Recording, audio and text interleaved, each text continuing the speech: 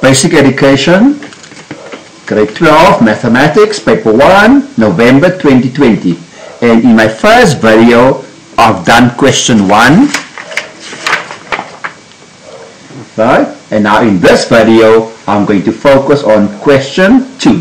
2.1, given is the following arithmetic sequence, 7, x, y, and negative 11 to the infinity. You must find the values of x and y. Now the minute they tell you it's arithmetic, you should go to your formula sheet, which is normally given in the exams, and you should know it will be this formula for arithmetic, for the term itself, and of course this one is for the sum. So those are the two formulae for an arithmetic sequence, and that should help me to solve this problem. Now this example can be done in different ways, different methods, but I'm going to choose maybe the most easiest and most logical way to do it. Right? And that should be using that general formula, namely Tn equals to A plus n minus 1d. So that formula should be of great help. So what I do is, remember 7 is term 1, x is term 2, y is term 3, and negative 11 is term 4. So what I can do is I can then say term 4, which I know is minus 11, so in the next step, I'm going to replace term 4 with minus 11. A, of course, is the first term, right? And of course, 4 minus 1, D. Because remember, D is unknown. So therefore, I'm going to try and solve for D. So therefore, plus 3D. Right. Then take 7 to the left-hand side, and I get negative 18 equals to 3D. So therefore, my D is negative 6. And the minute I have D, it is of great help. So to find X, the following should happen. Right, if I can just repeat this quickly, then I know the first difference there, there's a second difference, and sorry, that is the first difference. And I know this should be negative 6 throughout because it is arithmetic. First difference. So to get a negative 7, that means that it will have to be 7 and then of course something will have to happen to the x. x will have to take on a certain value and x will have to take on the value of 1 because 7 sorry it's always the other way around it's 1 minus 7 is negative 6. So therefore it makes x a negative 1.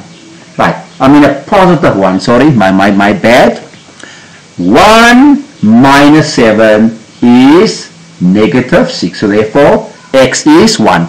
Then of course y, the same will happen here. So remember now if I can put the 1 in there, of course, then I can do the same here and I can say y is a negative 5 because negative 5 minus 1 is negative 6. So there we are.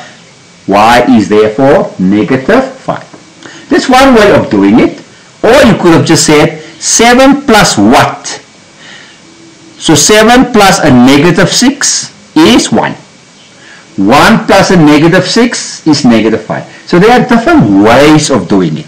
But whatever method you choose, Make sure you understand and make sure that the method make sense. The next question is 2.2. Given is this quadratic pattern. Again, there's the keyword quadratic pattern. That is grade 11 stuff. And it's given as negative 3, 6, 27, and 60. Now, the minute you see the word quadratic, you should think immediately of second difference. There's got to be a second difference. So the very first step you should do is therefore to write down the terms negative 3, 6, 27 and 60 and first determine the first difference. So what is 6 minus a negative 3? It is 9. 27 minus 6, 21. 60 minus 27, 33. So that's what we call the first difference. We can make a note of that. So that is the first difference. Then the second difference will be 21 minus 9 is 12. 33 minus 21 is 12. And if there is a second difference, which is the same, then this is definitely a quadratic pattern. So the formula you must remember is therefore that this 12, right, is normally called 2a. So 2a is equal to 12, so therefore a is 6. Then this 9 is usually 3a plus b. So 3a plus b is 9, a is already 6, so therefore b is negative 9. And then this value here is of course a plus b plus c equals to negative 3. So there you are. There's formula 1, there's formula 2, and there's formula 3. So those are the three formulas which you just got to know. Very important. So 2a is 12, 3a plus b is 9, and a plus b plus c is negative 3. Then do your substitution and then you get c 0. So now you got a, you got b, and you got c. Now remember now, the quadratic equation or expression normally looks like this. But here we're dealing with n, so it will be a n squared plus bn plus c. And a we already know is a 6, and b we know is a negative 9. Right, and that is how, and of course c is 0. So therefore the answer is 6n squared minus 9.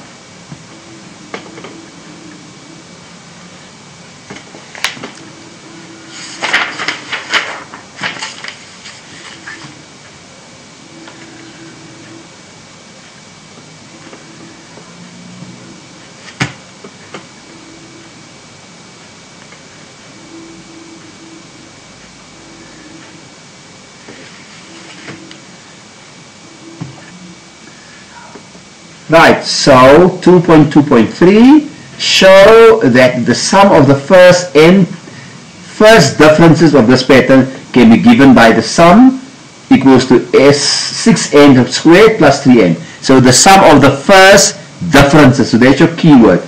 You need to look at the first differences. So there you are. Remember now, this is how we got to our first difference early on. This is how we got to our first difference. Now you must find the sum. Now it is still, now the first difference you will notice is arithmetic because there is a common difference. You'll notice that 21 minus 9 and 33 minus 21 will give you a common difference of 12. So therefore this first difference here is in itself an arithmetic sequence. If they want sum, if you go to your formula sheet, then you will notice it is definitely this formula for sum of an arithmetic sequence. So you write down that formula. Sum to n terms equals to n over 2, 2a plus n minus 1b. And then do your substitution. So this, this formula here, so n is therefore unknown. So therefore it is n over 2. Now remember what is a people? A will be 9. So it's 2 times 9 plus, and n is still unknown, don't forget, n minus 1, of course, the common difference d is 12. Right. So that's what you should do here. Then the rest, of course, is just straightforward calculator work. So it's n over 2, this is 18, this is 12 times n, and 12 times negative 1. Right, collect your like terms so 18, of course, minus 12 is 6. So therefore 12 Ln plus 6. That's what you get.